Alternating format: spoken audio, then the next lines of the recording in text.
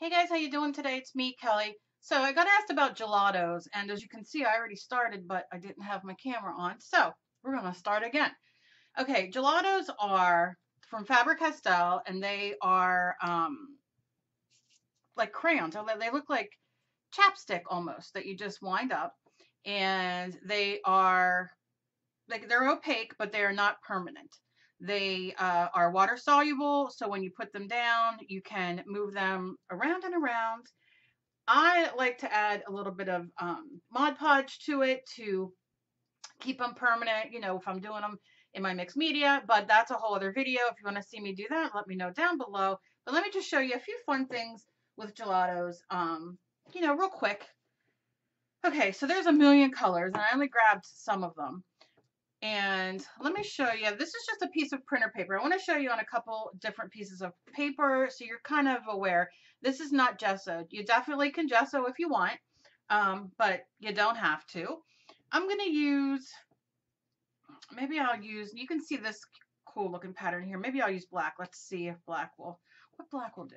So I'm just going to take some on my printer paper, and you can use whatever paper you have. Now you can see I'm using it on my uh, non-stick mat and you can see it's a given texture because my non-stick mats are old and beat up and I just I mess them up. So I'm just going to take my finger, no water, and what I'm going to do is kind of shake my whole table because that's how I roll. Okay. And I'm just smudging this out. Now, you can do this with your water soluble oil pastels. I should have grabbed mine. I did not. I'll do another quick video with that. You can do this with your, um, you know, whatever you have that you can lay down color that'll come up with water. Now I'm just going to take a stencil, use whatever stencil you want or have. I'm just using this because it's sitting here and I'm going to lay it on top. I'm going to take a napkin. Now you can use, this is a paper towel, you can use a baby wipe, you can use a wet rag, whatever. I'm just going to squirt it and get it damp. I'm going to hold down my stencil and I'm going in. And I'm just going to wipe. And I'm going to, it doesn't take long at all. And then I'm going to lift it up and look what you get. You get this really cool pattern. Look at that. And you can see I did the purple. The purple's a metallic one, as you can see the shine.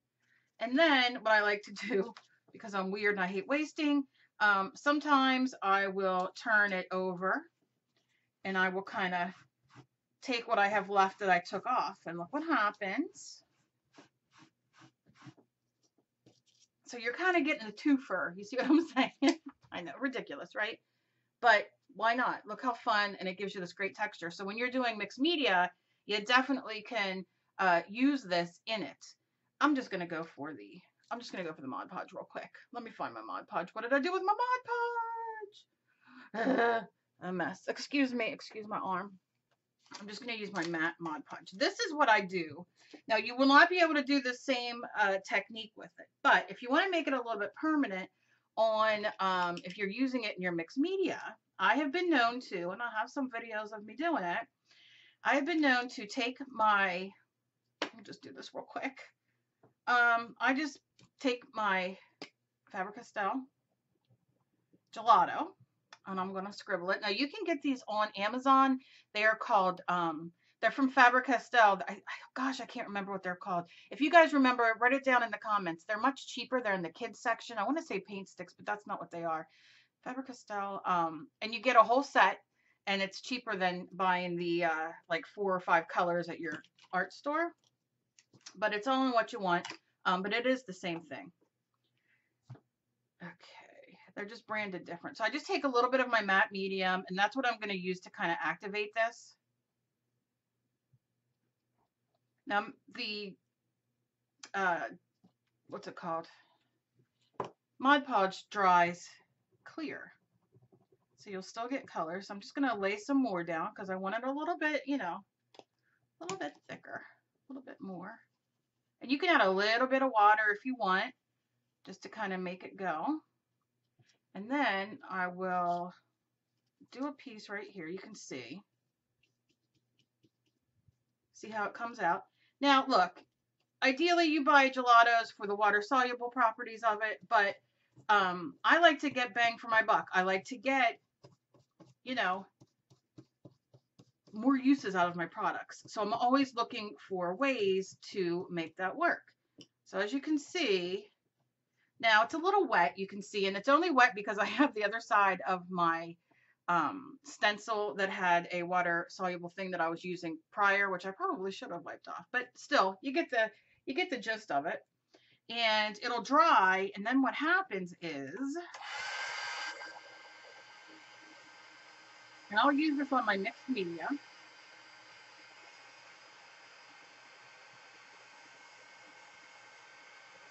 I really should learn to wash my stencils off when I'm done using them because this is what happens. But see, for me, if I'm doing mixed media background and I get this kind of thing, I'm okay with it because it's my mixed media back uh, mixed media background and it adds texture. So it all depends on what you like. Okay, so I'm going to take a little paintbrush and dry it off a little bit and then add a little bit of water. And see, you look, and it is not moving. Not moving. And if I do it here, look, it's not moving. So it makes it, you can see, it makes it a little bit, um, a little bit lighter, you know, but you're definitely using it for your mixed media or, um, you know what I mean? You're getting like bang for your buck, like I like to say. That's just my little thing. I have a thing with that. I like to buy things and get, you know, more than one use out of it, but, you know. So these are the gelatos. They're great. Uh, if you want to see them used more in depth, I will uh, gladly do that for you. Let me know down below. I have uh, pan pastels. I have the water soluble oil pastels. I have regular oil pastels. I have watercolor. I have, um, what else do I have? Oh, what are they called? Inktense. I mean, I have a lot of things. Inktense are permanent though. They're like an ink in a pencil form. They're really cool. But yeah, so think about if you have your uh, gelatos or something to that, really playing with them in a way that you know what I mean, like that can go into your art journal on your ATC cards and your mixed media. I think I'm going to do an ATC card uh, with gelatos and um, you know show you guys. So look for that coming up. And yeah, it's a lot of fun. And you can, you know, you can throw your mix your Mod Podge over these. Let me just, you want to make sure your brush is dry though when you're working with the Mod Podge. They also sell a spray, which is quite expensive, that you can spray and it makes like your pan pastels and stuff permanent. Um, I can't remember the name right now, but you can also, you know, if you're really into that stuff. But I just have some of the Mod Podge here, and all I'm going to do is go once. I don't want to go back and forth because that will smear what I did. But you see, just once, not a big deal, not a big deal. That had no Mod Podge in it. That was straight up gelato. And I'll dry it real quick. I get so excited. And it's essentially going to do what we did there. And sometimes you might get a little smear or smudge, but, you know, these are a lot of fun to play with. I mean, look at the type, look at, you know, think about the stencils that you have that you can really do cool things with.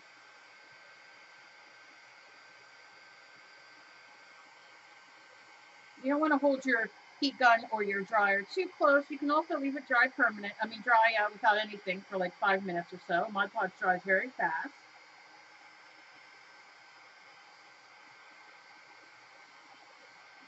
Okay, you can see it's a little tacky there. Come on now.